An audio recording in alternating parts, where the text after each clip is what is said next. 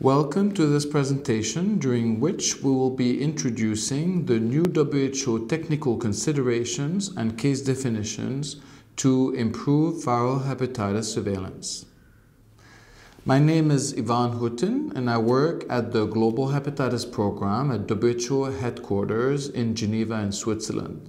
I will introduce today some of the salient elements of a new WHO document that we've just produced on viral hepatitis surveillance. We're dealing with four main hepatitis viruses hepatitis A virus, hepatitis E virus, hepatitis B virus, and hepatitis C virus. They are ranked according to how they affect humans, not by alphabetical order. Hepatitis A and E virus are mostly transmitted through the fecal oral route.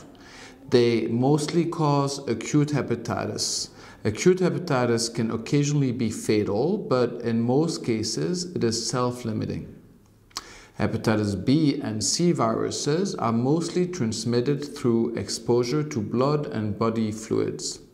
They can also cause acute hepatitis, but the majority of the harm that they cause come from a silent chronic hepatitis, which after some times causes sequelae, including hepatocellular carcinoma and cirrhosis. In 2013, viral hepatitis was the seventh leading cause of death globally. The majority of this mortality was associated with hepatocellular carcinoma and cirrhosis, which were consequences of chronic infections with hepatitis B and hepatitis C. WHO is responding to viral hepatitis through the Global Health Sector Strategy on Viral Hepatitis. It has five strategic directions. First, information for action is about getting data for decision making. This new surveillance document is part of that strategic direction. This is a cover of our new document called Technical Considerations and Case Definitions to Improve Surveillance of Viral Hepatitis. It is about 70 pages and we try to make it as useful as possible with a number of tables and figures. Before we discuss the recommended approach, it may be useful to uh, review some of the technical issues that we have to address in order to operate a successful viral hepatitis surveillance system. If we're aware of these issues, uh, we will be more effective in our work. First, viral hepatitis has multiple disease outcomes. Therefore, we need to consider acute hepatitis, chronic hepatitis, and sequelae. Second, different forms of viral hepatitis can have the same clinical presentation. Acute viral hepatitis A, B, C, or uh, E cannot be distinguished on the basis of the clinical features alone. Sometimes also the clinical picture will not allow differentiating acute from chronic hepatitis. Therefore, we will need in vitro diagnostics. Third, most infections with hepatitis viruses are asymptomatic. This means that we will have to plan for biomarker surveys.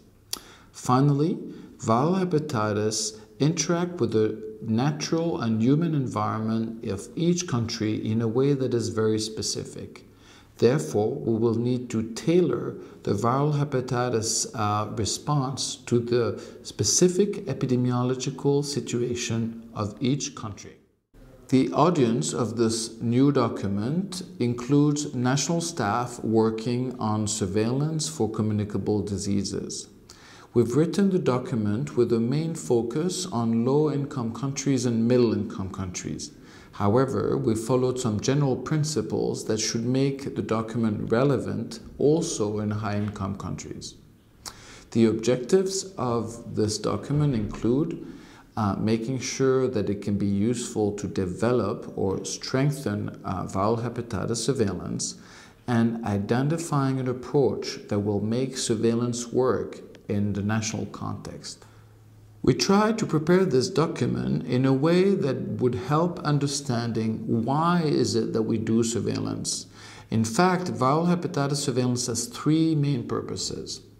The first purpose is to detect outbreaks, monitor trends in incidence, and identify risk factor for new incident infection. This will be done with surveillance for acute hepatitis. The second purpose is to estimate the prevalence of chronic infection and monitor trends in sentinel groups. This will be done with surveillance of chronic infection.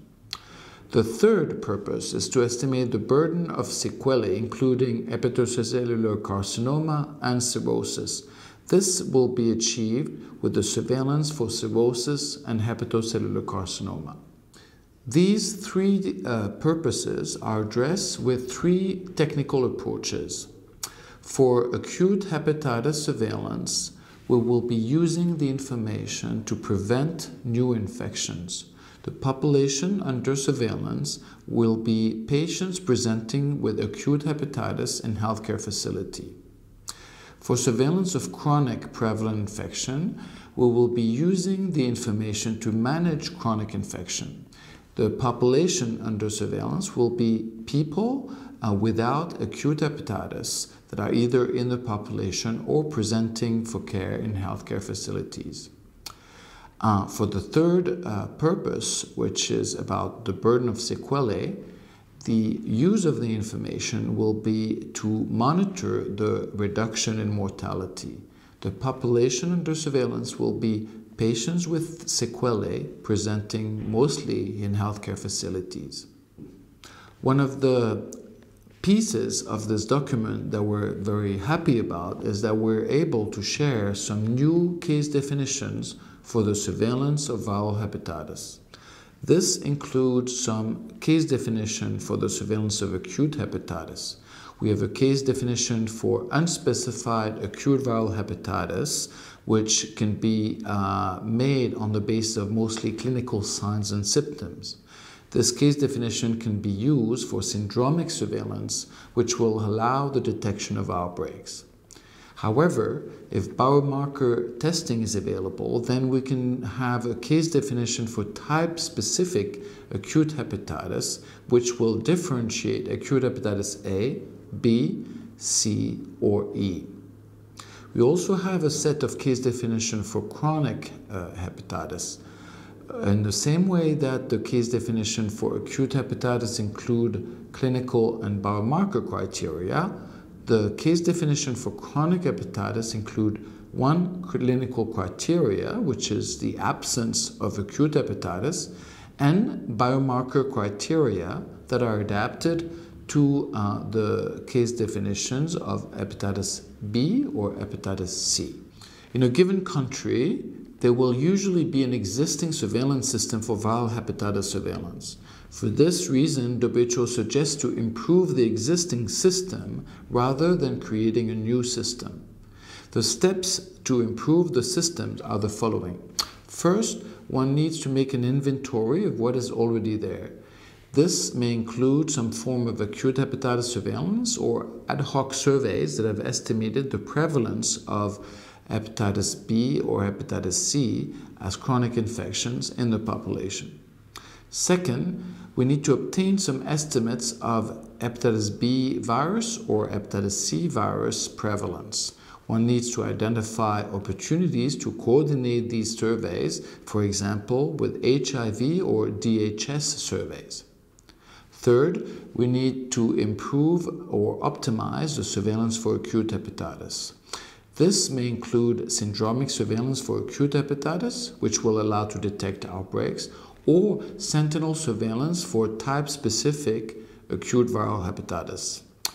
Fourth, when we're done with these three first aspects, a country may want to consider to establish a surveillance system for sequelae, including cirrhosis and hepatocellular carcinoma. Because we're looking for different outcomes ranging from acute hepatitis to chronic infections to sequelae, we need to work with the right professionals and the right program. For acute hepatitis, one would have to work with communicable disease surveillance when doing surveillance for acute unspecified hepatitis. For surveillance of type specific acute hepatitis, one needs to work with hepatology centers or other places caring for patients with acute hepatitis that have good biomarker diagnostics.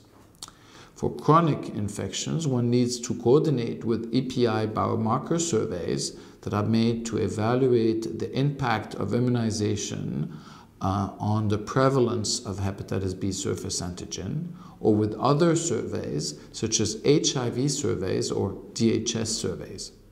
Finally, for sequelae, collaborations are needed with hepatology centers, vital registration systems, and cancer registries.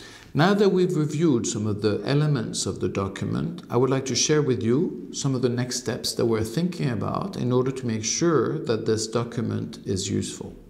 First, we'll be preparing a toolbox for practical use of this document that will be on our WHO website. Second, we'll be working on pilot implementation of these technical considerations in a set of countries, maybe yours. Third, we'll be making sure that we get all the feedback on the use of this document in country so that in the long term it can be improved and made uh, more relevant. Finally, uh, within two years, which is by 2018, WHO is planning to consolidate all the tools and document in the field of strategic information as a consolidated strategic information guidelines for viral hepatitis. Thank you very much for your attention.